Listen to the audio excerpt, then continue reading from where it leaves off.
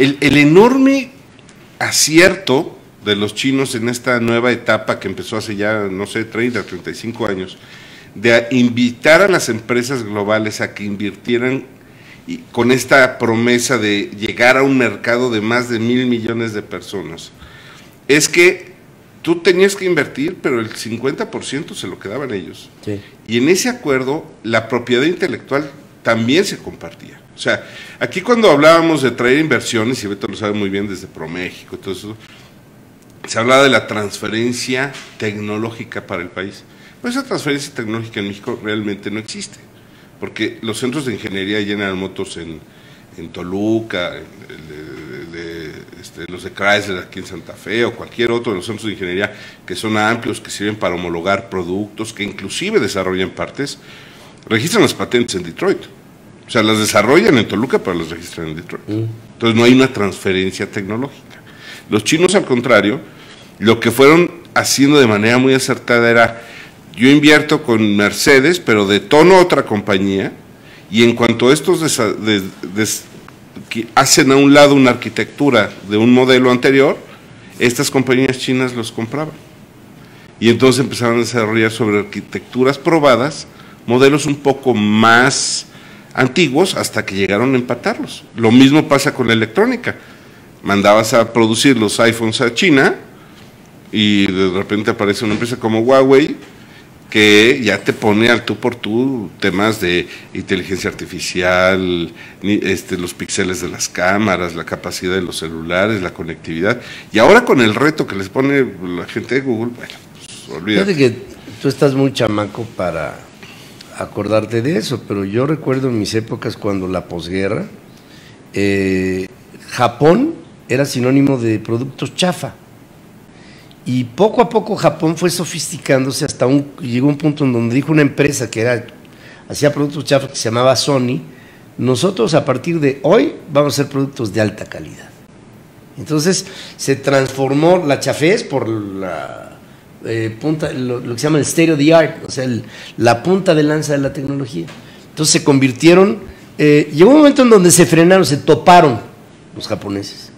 Pero los chinos están justamente en ese mismo proceso, pero con un potencial económico infinitamente mayor al de Japón, el de Japón de los ochentas. Sí, además con un mercado interno Ah, único, ¿no? O sea, ahí tú puedes hacer una política de, de desarrollo de mercado interno y con eso tienes para desarrollar una empresa 20 años, no necesitas exportar. no, pues imagínate. Entonces, sí, eh, eh, la verdad es que hoy los chinos se vuelven una verdadera amenaza a nivel comercial, porque justamente en donde está rompiéndose, o sea, donde se está estirando la liga de la negociación, es que los americanos dicen, yo sí quiero seguir invirtiendo en tu país, pero ya no transferirte conocimiento. Y ellos dicen, no, no, no. No. ¿Quieres vender en China? Es a las reglas que hemos estado jugando, desarrollando transferencia tecnológica de manera real y compartiendo conocimientos. Claro. Entonces ya empieza a haber una tensión muy fuerte porque pues los están superando en algunos productos, en, en volúmenes, en, en muchas cosas. Sí. Entonces, bueno, pues es un reto, seguiremos viendo cómo los chinos van siguiendo eh, pasos agigantados en desarrollo de temas de desarrollo tecnológico. Y otro gigante, aguas eh, con la India, ¿eh? Sí, pero fíjate que los chinos tienen además, en términos automotrices, la ventaja de la concentración de lo que es el desarrollo de, de, de partes de- para hacer los vehículos eléctricos. Tanto de la materia prima como en, en la fabricación de baterías complejas, de las células, digamos, que han venido ya de tercera y cuarta generación en- en, en litio. Entonces, no, estos cuates la traen de largo plazo pensada hace muchos años, ¿eh? y ahora sí, pues están enseñando el músculo. Sí, Están sí, enciendo sí, el sí, músculo. sí, sí. Los, los chinos eh, están poniendo a temblar a la economía, al mundo y a las tendencias. Hoy, un poquito más temprano, estábamos hablando de que lo que están vendiendo algunos países es el volvamos a las épocas rosas de nuestra vida. Sí, Eso fue lo que vendió Trump. Let's make America great again. O sea, esa, esa Estados Unidos que tú concebías como lo máximo de Estados Unidos, bueno, volvamos a eso. Entonces, pues, ¿a quién no le gusta volver a recrear lo que fue una época rosa de la- de- del mundo? ¿Qué pasó con el Brexit? Yo no podía entender por qué los ingleses habían eh, optado por la idea de la exclusividad con respecto de la unión con Europa, porque hubo un momento en donde hubo la época rosa de los ingleses, en donde este, pues ellos vivieron a todo dar. ¿Y sabes quién está haciendo lo mismo? Rusia. Sí. Vladimir Putin está eh, haciendo sentir a los rusos que podemos regresar a un mundo... Eh, en donde se sofisticó Rusia y no justamente está ligado con el periodo bolchevique, sino antes. O sea, está invitando a Rusia a ser zarista otra vez. Claro. O sea, a sus, a sus burbujas de desarrollo. A, sus, a su orgullo, a sus legados. ¿Y qué está pasando con México? Lo mismo. Igual. Nos están regresando a las épocas de los 70 donde éramos niños, ¿no? Vamos a regresar lo robado al pueblo de México. Y todo el mundo dice, pues claro, de aquí soy, ya, ya se cansaron de robarnos, ahora ese instituto para regresar lo robado al pueblo, pues es, la neta, es lo que me está diciendo el presidente, y vamos a volver a hacer grandes refinerías, y, vamos a hacer trenes, y vamos a hacer... Sí, pero con el riesgo de que eso debió de haber sucedido hace 50 años. Exacto. el problema es que vivo en la nostalgia de hacer algo que no pude hacer en un momento, que hoy ya no sirve. Con un ingrediente que no está tomando en cuenta ni México, bueno, fundamentalmente México, es el tema tecnológico. Sí, es como si quisiéramos, vamos a tener la fábrica más grande de televisores de bulbos, pues qué padre, pero pues, pues es que lo va a comprar, ¿no?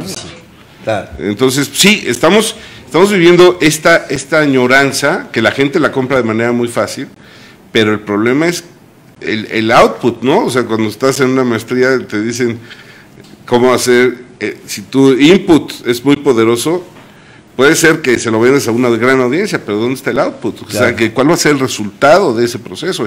Y es ahí el riesgo, porque en el proceso te vas a gastar mucho dinero y tiempo. Mucho, mucho. y muchas explicaciones, muchísimas. Así es. Oye, una nota muy importante que está surgiendo el día de ayer es Ford Motor Company anuncia el recorte del 10% de su personal a nivel global. Estamos hablando de alrededor de 7 mil puestos de empleo, de los cuales mencionan serán 2.300 posiciones de trabajo, principalmente de mandos medios y altos, de management, en los Estados Unidos, y que concluirán este proceso de reestructura para ahorrar 600 millones de dólares alrededor del mes de agosto. Este proceso ya lo estamos eh, viendo en México, algunos eh, puestos directivos como eh, nuestra amiga Laura Barona, que era la directora de comunicación, ya también ya anunció su su salida de Ford y algunos otros puestos importantes. Y parece ser que lo que se está haciendo Ford es más pequeño, con la idea de que los puestos altos ya no se recuperen, sino se queden más bien como puestos, puestos medios, los que estén a cargo de las áreas. Y pues eh, eso, los, digo, se esperaba, si es un manejo de reestructura que los mercados reaccionaron positivamente y la verdad es que han, sido un manejo flat, los mercados no hubo ni, a favor ni en contra, se mantuvo en los 10, 20 el, el precio de la acción. Y pues, eh, pues triste porque seguimos viendo un Ford concentrado en una, en una filosofía 100% mercado americano. Está, sí tienes razón, Nada más que ese tipo de medidas de recorte yo las aplaudo porque lo que están asegurando en Ford es viabilidad. Ah, claro, no, y, la verdad es que están siendo honestos con la nueva condición. Se están haciendo más pequeños porque su, su objetivo de mercado está concentrado en SUVs y, y pickups. Y pues sin no tener todas las divisiones de autos, pues también necesitas menos. Rasurar a una organización productiva nunca es grato porque tienes que anunciar pues, el, retiro de gente, la salida de fuentes de trabajo, pero, pero lo que estás realmente garantizando es una vida mayor, mayor aliento. Eh, cuando tú tienes estructuras obesas, acaban por hacer sucumbir, se, comen, bueno, Pemex. Sí, sí, sí. No, no. Sí, la, verdad es que tú no puedes poner en riesgo la rentabilidad de la compañía para alimentar una masa digamos, de, un grupo enorme de gente que pues no es productiva. La verdad es que lo que tienes que es llevar a la, a la productividad. Pero bueno, lo que sí llama, llama la atención justamente es este enorme recorte, que no se ha visto un recorte del 10% de una armadora norteamericana desde los años de la crisis del 2009. Sí, que en donde, como tú bien apuntas, Ford no acudió a un TARP, o sea, no acudió a una reestructura auspiciada y y, financiada por el gobierno y eh, a lo mejor le pudo haber venido bien, eh, y no Sí. lo hizo, pero pues eso ya... Su estrategia fue, en vez de salvar el portafolio de marcas que era muy robusto en ese entonces, tenían Mazda, tenían Jaguar Land Rover, tenían, eh, bueno, eh, básicamente estas marcas, prefirieron, Más las propias, Más las eran un propias. montón, una gama enorme. prefirieron vender, con eso financiar y enfrentar los momentos difíciles de la crisis, y lo que no te permitía eso era sanear. Ir a Chapter 11 es muy positivo cuando tienes una estructura que es, es vieja, que está enquilosada y que es cara. Entonces el Chapter 11 te permite todo eso que es Sacudirte. tóxico, deshacerte de ello y poder resurgir mucho más lean, más, más ligero, más, pues, como tú dices, con una viabilidad de mayor aliento. Entonces, bueno, pues es lo que hicieron y ahora están enfrentándose las consecuencias. Esperemos que estas medidas sí traigan algo muy positivo porque es una gran marca, sin duda son los mejores pickups que, que hay en el mundo y pues, hay, que, hay que apoyar a que Ford Pues salga que adelante. Ford era mucho más que Picos, caray. Mucho más. Mucho más. Acuérdate del Galaxy, del LTD. No, bueno, este, y el, el, no sé, el Lincoln y, y el Mercury, Sí. Digo, por, lo- por lo pronto se salvaron el Mustang, que es un icono. el Mustang. Ese sí se sigue produciendo y vendiendo y con un producto. de- Edsel ya no hay, ¿verdad? ¿No? ¿Sí te tocó ver algún Edsel? pues sí, en algún museo, yo creo, Pedro. En algún museo. Sí. Fí- Fíjate que ahí es en donde sí me doy cuenta de, de- del tiempo, ¿eh? porque yo sí los vi circulando. Los dice- Yo lo más viejito que logré ver circulando que traía una tía era un Opel, cuando Opel estaba en México hace ¡Oh! ¡Opel! alemanzazos. Sí. Era, era un vehículo este, cuyo, cuyo ícono, el que anunciaba el Opel, era Mauricio Garcés. Ay, bien. Por eso te digo el ¡Oh, Opel. Así decía. Mauricio.